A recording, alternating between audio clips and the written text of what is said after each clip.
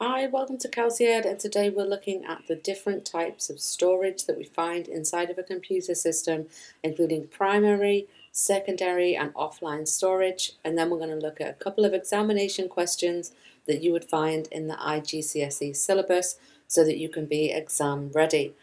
Even if you're not taking IGCSE, this is super relevant to many other curriculum. So please like and subscribe, and most importantly, click the notification button so that you can be informed every time that I make new content.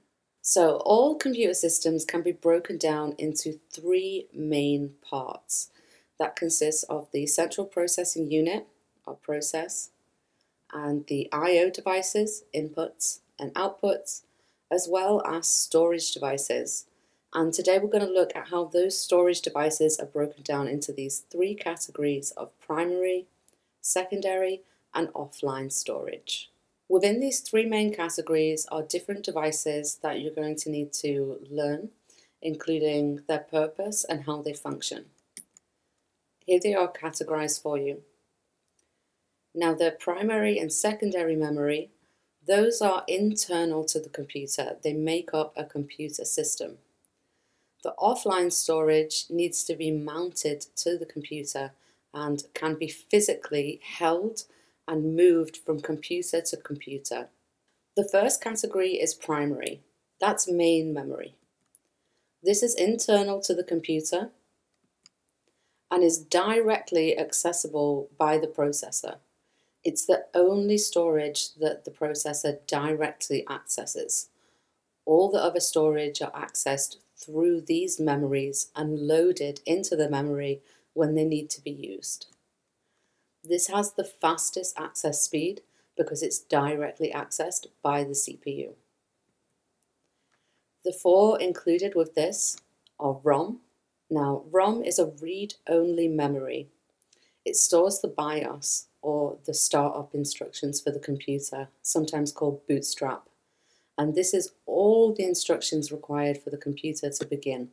Without the BIOS, your computer cannot function and even begin to start up. That's why it is a read-only memory. It's permanent and should not be erased. Next is RAM. Now RAM is very busy. It stores all the data that is currently in use. All the current instructions are stored here. This is a volatile storage. When you turn the computer off, the contents of RAM will be deleted. In addition to RAM, we also have cache. Now, the cache memory stores commonly requested instructions, so it's data that will be used again and again, and it has the fastest access speed of all of them. Now, registers, we visited this when we did the fetch execute cycle. These are a temporary store of a small amount of data within the CPU and they're used as a part of the fetch execute cycle in order to retrieve the instructions that need to be processed. Next we have secondary storage. Secondary storage is also internal to the computer and it stores all the user's files and applications. So your music library, your video library, all of the programs that you have loaded onto your computer or applications that are on your phone are stored in the secondary storage and when they need to be used, they'll be retrieved and stored in RAM while the computer is running. This also has fast access speeds compared to the external storage, but not as fast as the main memory. And it's important because without this storage, we wouldn't be able to save any of our files, anything. We'd have to start everything again every time we use the computer. This is also non-volatile. So when you turn off the computer, the data will still remain. There are two main types of secondary storage that we use, and that includes the hard disk drive, or HDD, and the solid state drive, SSD. Here you can see an example of a solid state storage. You'll notice that it's very thin, it has no moving parts, that allows it to be much thinner. Here is a hard disk drive, you can see it's a little bit thicker. This works with a, a magnetic disk inside and this is a moving part. It means it takes up more space and it's less durable because it has moving parts which are more likely to break than an SSD would. Next we have offline storage. So the offline storage is completely external to the computer. So it must be mounted or attached to the computer. And you can see here, this um, external hard drive has a USB port. Our DVDs, CDs, and optical discs of all kinds will have some sort of disk drive in order for them to be read. A flash memory would also attach with a USB port. And the SD card would also have some sort of SD port or external reader that could be used. It stores all the files in a portable format. It's specifically designed to be moved around. It also has the slow access speed. This is also non-volatile, so when we turn it off or we detach it from the computer, the data will not be lost. Well, as long as you've saved. And examples of this include the external hard drive. It's really important that you use the word external because we have HDD and SSD as our secondary storage. So when we come to examinations, we have to use the word external. It's really important. It's outside of the computer, it's external to the computer. Next is optical storage. That's all the CDs, DVDs, and Blu rays.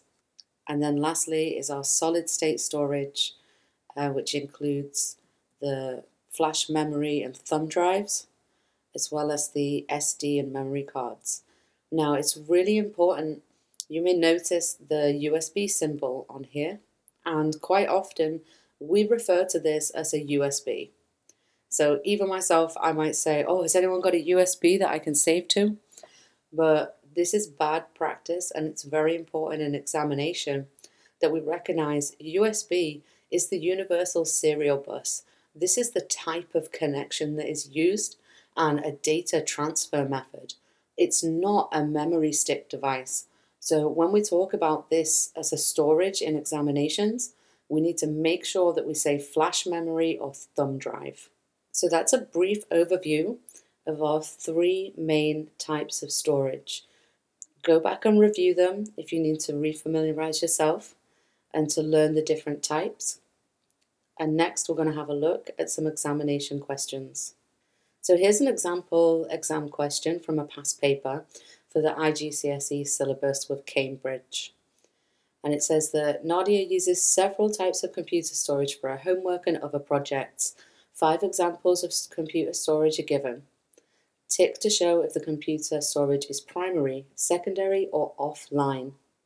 If you want to pause the video now to complete this yourself, go ahead and then we'll show you the answers. So the first thing that we're going to see here is the solid state drive, the SSD. Now this question might cause some people problems because you may want to go with offline storage. However, it's missing one important word in order to be offline, and that word's external. So the fact that it is just a solid state drive would mean that it must be internal to the computer, and if it's internal to the computer, then it will be a secondary memory. Next is our Blu-ray disc. Well, the disc, we can hold it, we physically hold that, we store them, or maybe we used to, you might not have too many of them today, but a Blu-ray disc is a physical device and that makes that an offline storage. Next is our USB flash memory. That's the same idea. This is going to be a plug-in memory device and therefore because it's mounted to the computer, it's external to the computer and it is an offline storage. Next is our random access memory or RAM. That's our main memory. All main memory is primary, so that is a primary memory device. And lastly, our read-only memory, again, external to the computer and a part of main memory, which makes it our primary memory. Okay, here's a more complicated one. We need to now take these words and put them into the correct place within this paragraph of text. Now you may notice that there are nine different words and only six correct terms are required. So you might want to first of all, when you approach this exam question, just read through all of the different options that are available um, and get an idea of exactly which ones are likely to be used. So for example here, the word online uh, stands out to me as not relevant to this chapter, and so I would immediately disregard this. Now, the other ones, maybe. So let's start on this first line, and it says a computer has two different types of memory. Now, immediately you might think, hold on, aren't there three different types? And that's a good point, so you should stop and think about that. It says a computer has two different types. Well, remember, there are only two different types of memory that are actually internal to the computer. The third type is external and has to be mounted. So we can also take away offline. So now we're down to only seven terms, which is going to make this a lot easier. So our two main types of memory would be primary and secondary. So let's read this first sentence. Something memory is not directly accessed by the CPU, but it allows users to store data that can easily be accessed by applications. So, which one is not directly accessed? Well, that is secondary because only primary memory is directly accessed by the CPU. Secondary memory does not access the CPU, and we also know that it does store the data such as files and applications. So our first answer is secondary. Next it says there's two examples of this type of memory. So those two different examples were our hard disk drive and our solid state drive. In this example, it won't matter if you put HDD or SSD first. Either answer order is fine. Now, the second type of memory is, well, there's only two types inside of the computer. We've already identified secondary, so we can assume that this one will be primary. But before we agree to that, let's double check the next line. So it says this memory is directly accessed by the CPU. So we know that is definitely a primary memory. Only primary memory is directly accessed by the CPU. So next it says it allows the processor to access data and instructions that are stored in this memory. Two examples of this memory are, well, we know four different examples. Our four examples are registers, cache, RAM, and ROM. Well, on our list, only RAM and ROM are available, and that's what we'll put into here now. And that's a successful question, six full marks. This last question is the most complicated uh, because it's asking you to write completely from yourself. So, for this, you're going to want to make sure that you can give an example of each type of storage and that you know how it's used. And when we talk about how it's used, you need to be able to describe with an example. So if you want to pause the video now and take a moment to write down your possible answers, and then we'll go through all the possible responses and where you would get the marks. So the first answer could be RAM, so a random access memory. And this is a volatile main memory inside the computer. So the key things I wanted to mention here is that it's a main memory. Uh, I mentioned that it's volatile because that's a common description for RAM and any extra description we can put in is very good. I also made sure that I've written this in full sentences. And that's important too because sometimes maybe maybe you can get a hold of a mark scheme and you might see that mark schemes are listed with bullet points and think that a bullet point is an acceptable way to answer a question, but it's not. Mark schemes are designed for the teacher and the examiner. They're not designed for the student. So we're looking for full sentence answers, and not giving a full sentence answer could cost you marks. So RAM is a volatile main memory inside of the computer. And the important description here is that it stores the data currently in use. You must mention currently in use if you want to get the mark. Our next example, ROM. So ROM is a non-volatile main memory inside the computer. So, by identifying the volatile versus non volatile between ROM and RAM, I've taken essentially the same sentence because both are main memory inside the computer, but I've clarified that this is a non volatile, so the data will not be lost when the computer is turned off.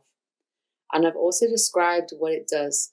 So it stores the computer's startup instructions or the BIOS. Let's see another example cache. The cache memory, what does that do? Well, that is an, again another volatile main memory inside the computer. So I've used the same sentence again, started it. Cache is a volatile, so volatile, non volatile. This is volatile main memory inside of the computer. And this one is storing the frequently used instructions that allows for faster processing. So that's three good examples that would get you marks within this examination paper. Registers are also a primary storage, but I would avoid using them in this sort of question because really we can keep this for the fetch execute cycle. And in this instance, they're really looking to see more of your understanding of ROM and RAM, and they would be the first options that I would choose. Next is our secondary memory. Now, that's our hard disk drive or solid state drive. Either one of those would be an acceptable answer. I've put them together on this line because the explanation of their use is identical. And the important part when you do this explanation is that you don't only just explain what it does, but you give a real life example of how it could be used. So we know that it stores the files and the applications. You can learn that as a sentence, but the examination board want to know that you understand what that means. So complement it with an example. So here I've said that it could be where you store your music library. Next is our offline storage. Multiple different answers. This one has the most answers. Any external offline storage, physically held storage device that you can think of would be acceptable in this answer. And again, they have the same use. They can all be described in the same way. And similar to the secondary storage, they're devices that store files and applications. But this time, when you give your real world example, try to think of an example of a reason that you would be portable. So, why would you need to take a file from one computer to another? So, my example, I went with a student example. That's probably the easiest one for you. A student example here might be saving a word processing document or a presentation that you might use for a certain class. So, I've said here for English class. And that's how to get six marks on a written question. Good luck.